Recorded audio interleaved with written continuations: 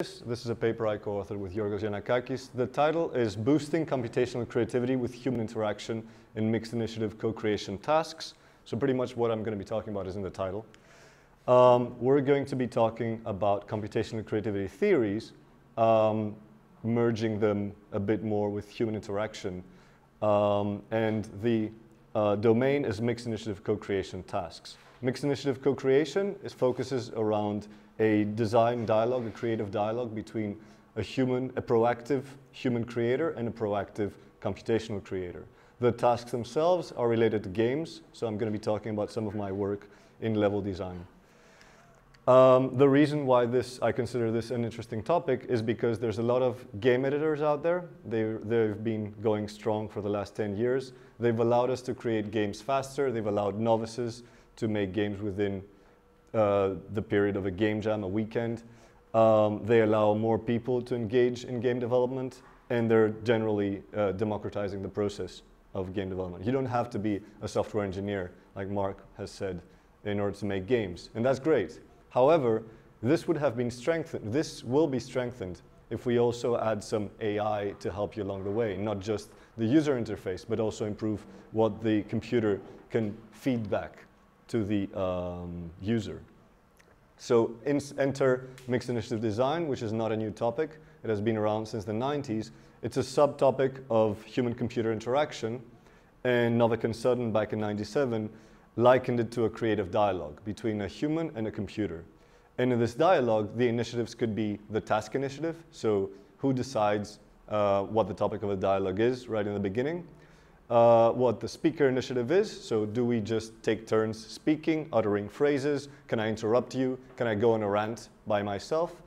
Uh, and what the outcome initiative is. When do we finish the conversation? Um, who decides if we've reached a consensus and what that consensus is? So the main theme, let's wait for this to load, yoink, um, is that we need both a proactive human and a proactive computational initiative. And those don't have to be completely equal. You can have a computer leading the generative process and a human guiding it. This is the case for interactive evolution, for instance. Or you can have a human having the creative spark and the computer guiding, a, guiding him or her along the way um, with suggestions. But ideally, what we want to get is this, which is a human and a computer having creative ideas of their own, and then through a dialogue and through a process, um, get into an, uh, get to make an artifact that you don't really, you can't really tell whose idea each of these um, components come from. So let's talk a little bit about computational creativity theory.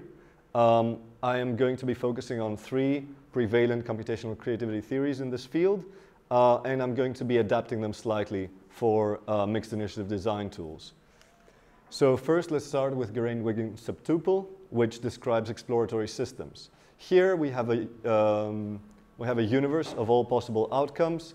The, that's the U. R are the rules which define what, a, uh, what membership of the conceptual space is. That means what constitutes a valid artifact of this genre.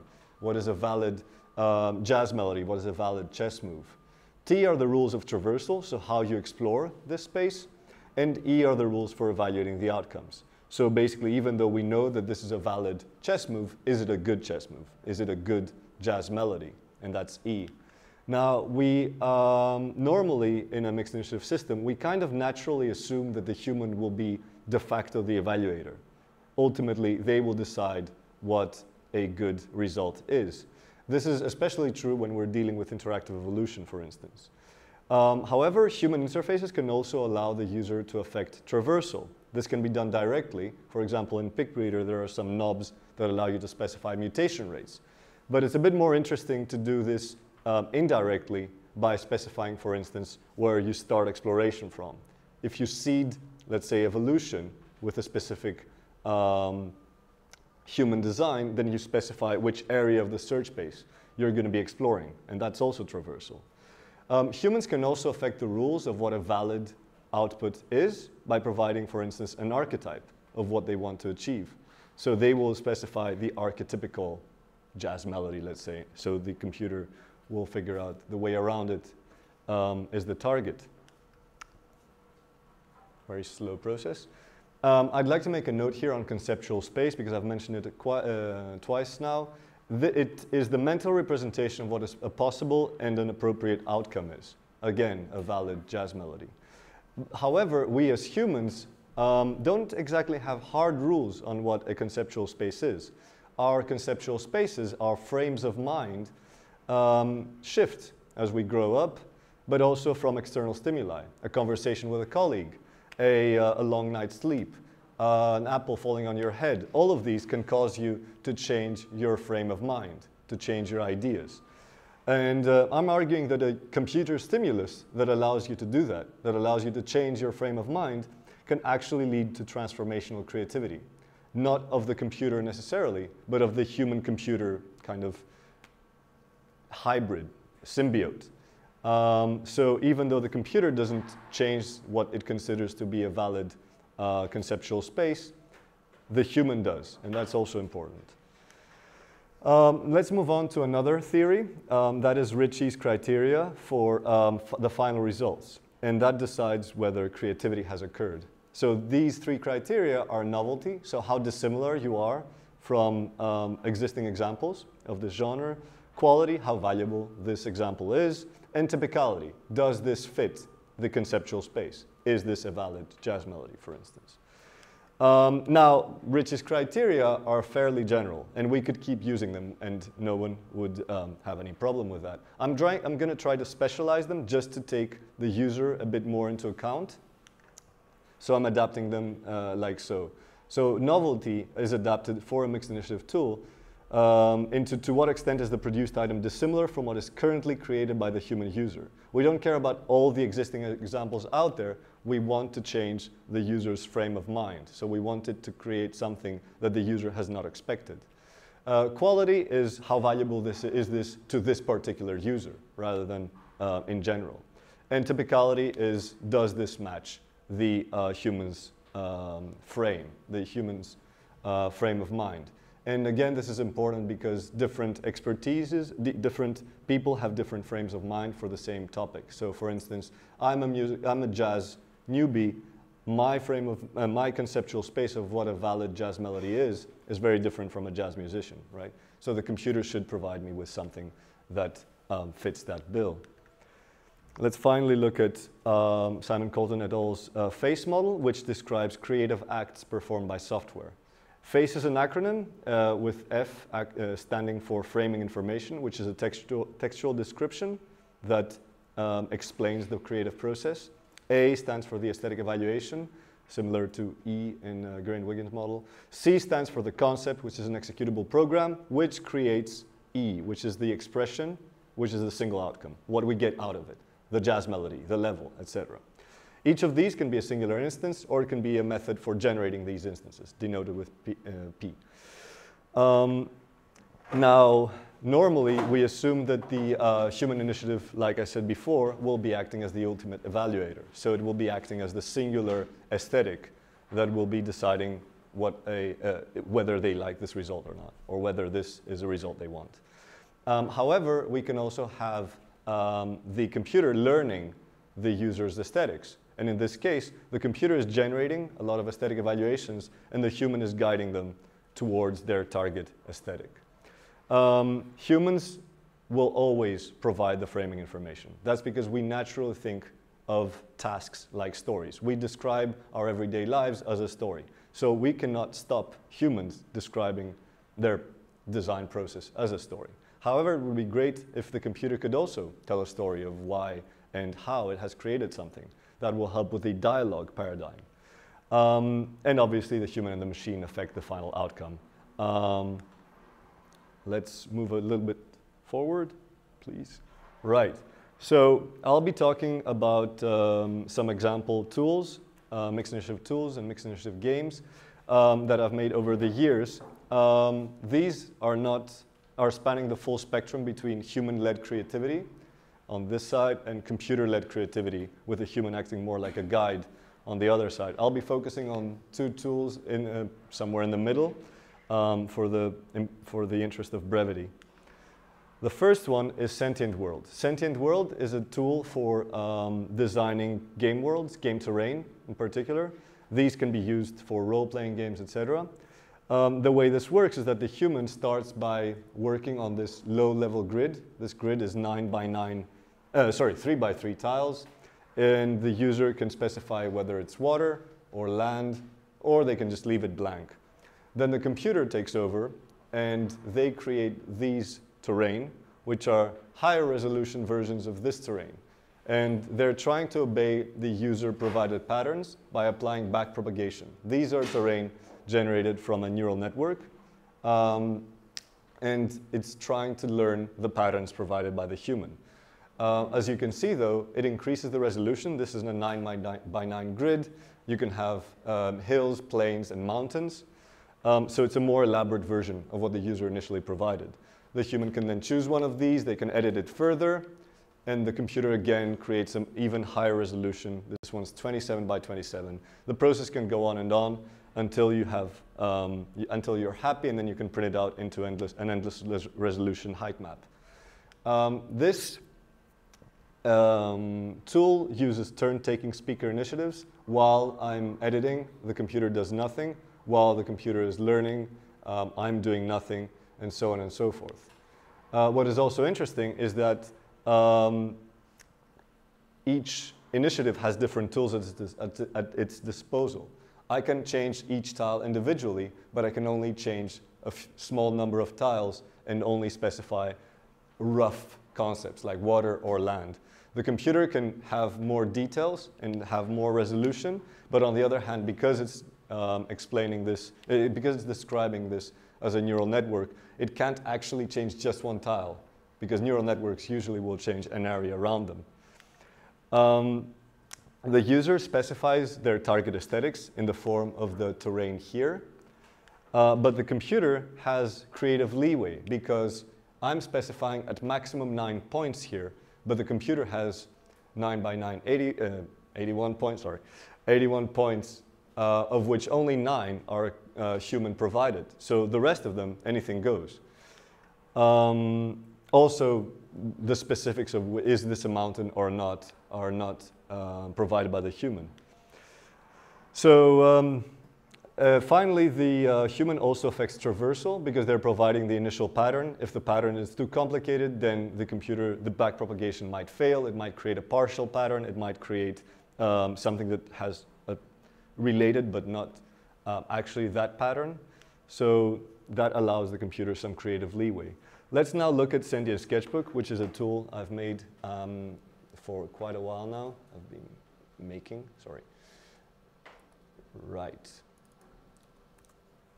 So Sentient Sketchbook is a level design tool. It works on a very rough um, sketch of a level. It has very few, uh, a very small number of tiles, bases and resources, and impassable regions. Um, this is for a strategy game example. Um, it's really quick to make levels in Sentient Sketchbook. Um, as you on the side, as you, uh, as you draw, there are um, several metrics pertaining to the specific type of level, like resource safety, safe area, etc. And next to this are computer-generated solutions. Every time you add a new tile, then the, new, new suggestions are provided. These suggestions are evolved from the user's current sketch, so it's evolution that is seeded from the user's current sketch and um, they target, they optimize uh, each of these objectives, um, as well as um, they also, the other half of them optimize visual novelty. So they try, try to break patterns that exist in this sketch, and they try to create things that are different. You can see whether what things change when you select a suggestion, and you can also replace your own sketch with a computer-generated suggestion. And then you can edit it further, like I'm doing here. Um, after the user is uh, done, they can export it into a high resolution map in several different formats, even as a dungeon. Um, and then they can also render it in 3D, which I'll spend some time navigating here, so it's not particularly interesting. Um, here we are. So in Sentient Sketchbook, the suggestions are always shown. Um, even if you don't um, choose them, um, they're, they're shown to you. So they act as random stimulus, even if you don't really feel they're interesting, they're always there at the um, edge of your screen. Um, they can cause you to change your mind, change your frame of reference, even by just observing them. And they can change your mind as a game designer, um, because you might, or a level designer, because you might figure out that there are ways of achieving higher exploration um, using a different pattern than you were, than you were using right now, but also as, a, um, as an artist, basically by breaking visual patterns, um, like symmetry that we tend to create in strategy games. Um, these suggestions are seeded from the user's sketch, so again, they affect traversal. Um, because you specify, we only evolve for five generations since we want to do it in real time. So you specify which area of the search space you're interested in by using user. Value is ensured computationally via constraints because we make sure that all the suggestions are playable, also via the objectives.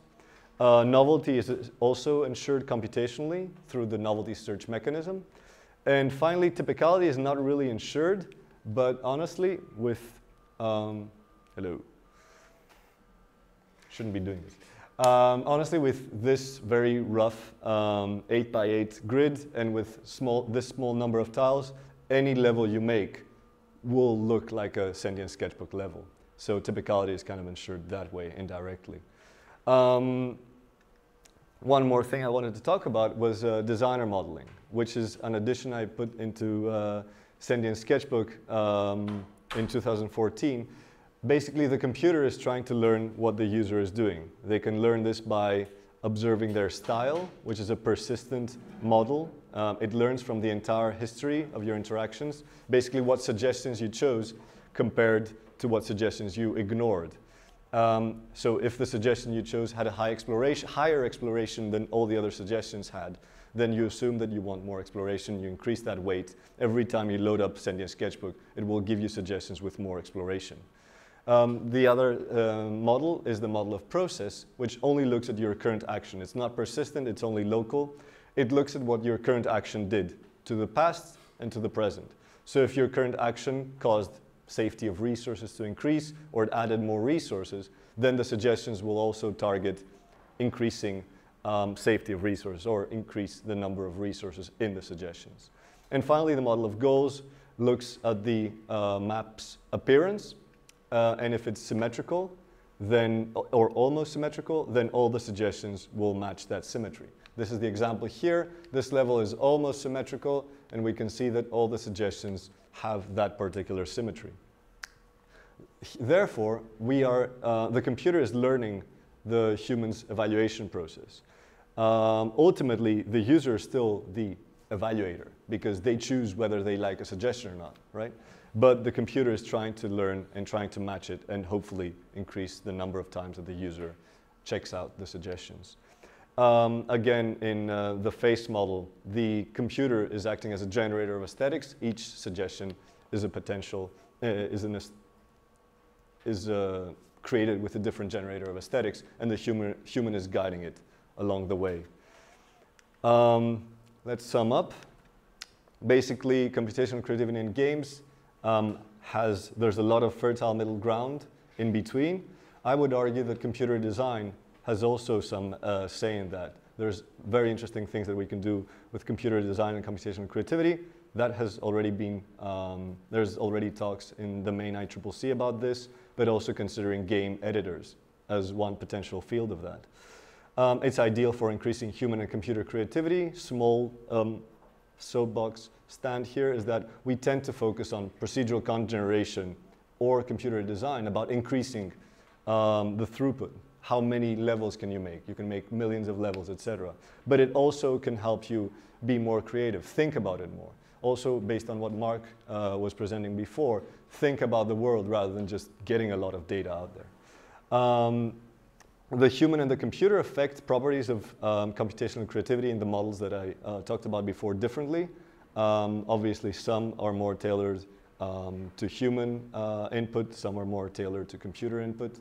Um, and we should also consider the creativity of a symbiote, a human-computer symbiote, rather than trying to figure out uh, where is this computational creativity addition, is this a human creativity addition? Uh, because ultimately, as I mentioned before, we, the artifact, we can't really tell if the human had the idea or the computer had the idea. So it's not fair to figure out where the creativity comes from as well. And uh, just a small note on future work, we should definitely do more about generating framing information. This will be very important for computer design in particular, because you have a computer there and you need to prove that it's creative to the user as they are editing. So um, having computer generated framing information will be really cool. That's pretty much it. Thank you for your time. Clapping for myself. All right. Any questions? So, so I, I love the fact that you worked with Design from a competition perspective and, and vice versa. It, it feels like it's mixed initiative but not mixed responsibility. Mm. So you've got always seemingly the, the user, the human user is in charge. Um, so you say it generates aesthetics, but then the user ignores them. It then the user ignores them. Mm. And I wonder whether um, you, you talked about taking the Sentient Sketchbook a little bit further and getting somebody that insists Mm. on going somewhere, and you have to live with that and studying whether that actually helps. That will give you a good reason to implement the framing because insisting for just arbitrary reasons is a bit deflating. You can say, well, why? Why should I do that? If the software can explain to you why Mm. it thinks what uh, you should be doing next is following it, that might convince you to stick with it. Well, first of all, I think if we add framing information, because I've been thinking about this, obviously, but that's why I, um, I put it there, is that you cannot have as many, um, let's say, you would have a different interface, right? You would only need one suggestion, one great suggestion, and then the computer insisting that this is a good suggestion. I don't know if we want to completely take away control of the, of the, from the user. They tend to not like that. Um, but at least if you can like have a more elaborate description. This is the one suggestion that I think is important, and this is why. So you would have to be a bit more. uh, You can't do this obviously for 12 suggestions shown on the side.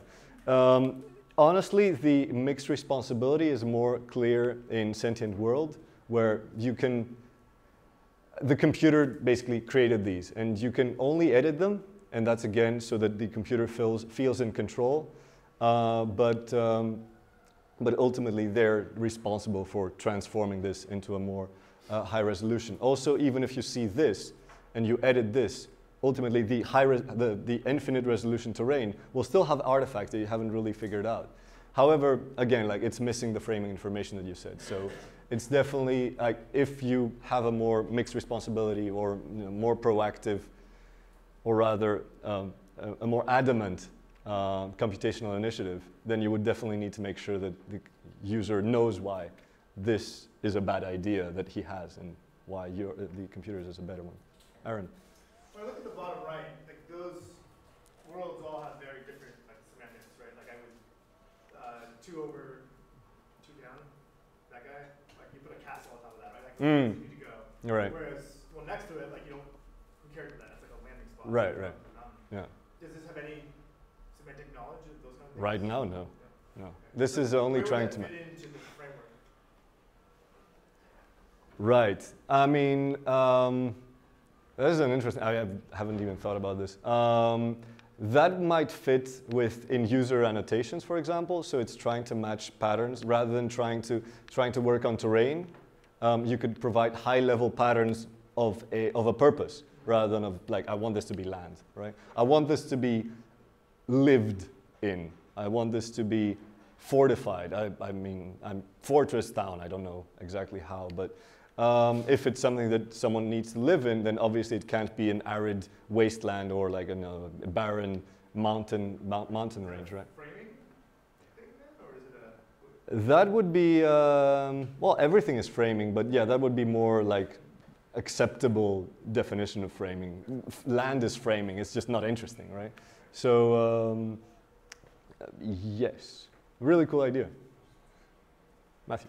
Uh, so both in Sentient World and Sentient Sketch, uh, the, the computer sort of has its sort of place and the, the human has its place. Have you looked into actually having uh, the computer making changes to the same screen the human is at the same time? Yes, I have, and I haven't done this because um, I think humans would not like it. But I have not. I, I've technically tried it, and that's why I have the repair function here because if you, there, you should have an undo button. When you have a computer, especially one that you cannot prove yet, unfortunately, that it's you know, intelligent or creative enough, we're all getting there, but you know, um, you should have at least an undo button so, or a you know, switch off button so that you can stop it from being disruptive. Especially to, so I found in Sentient Sketchbook that people use the computer towards the end, but that was an informed choice. If you've spent, you know, let's say 10 minutes and then the computer just goes like, ah,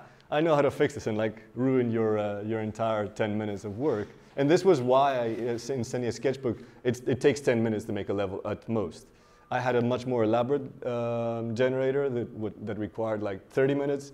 Yeah, you don't want you don't want intelligence there. You want, you know, you want it in a safe spot, hidden away. Like, uh, would you like to change this? And then, like, if they really want to, they will. I don't. I mean, open to uh, to experimentation, but I think from a UI perspective, you kind of want to at least give a hint to the player that they're to the user that they're in control. So you know, like at least tell them, you know what, try this, but if you don't like it, you know, you can turn it off. Um, how am I doing with time? It's 10:30. 10.30, great. So any questions? No? Thank me.